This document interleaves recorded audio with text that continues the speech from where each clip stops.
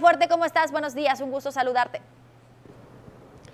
Hola, ¿qué tal? Buenos días, Anaís. Te saludo con mucho gusto desde el quinto piso de las instalaciones de Quiero TV, donde se puede apreciar una eh, bonita vista. Y bueno, también eh, respecto a esto hablaremos de la calidad del aire. La zona de Oblatos cierra la semana número 4 sin que funcione esta estación, según Semadet, porque se encuentra en mantenimiento. En la zona centro de Guadalajara se registran 47 puntos y mecas, en Miravalle 86, en Atemajac un punto y meca, en Las Águilas 33 puntos y mecas, en Loma Dorada 58, en Las Pintas 106 y en Santa Fe 110 puntos y mecas. Es en Miravalle donde la calidad del aire es regular y en Las Pintas y Santa Fe donde se registra mala calidad del aire. Entonces, sobre todo en estos puntos es importante que las personas tomen precauciones como no realizar actividades al aire libre, además también cerrar muy bien puertas y ventanas y proteger sobre todo a los grupos sensibles como son menores de edad, adultos mayores o personas con algún problema pulmonar y por supuesto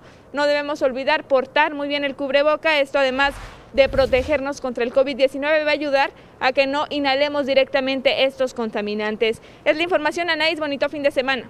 Gracias, mi Fuerte. Excelente fin de semana también para ti. Ya lo escuchó, Las Pintas y Santa Fe continúan con una muy mala calidad del aire.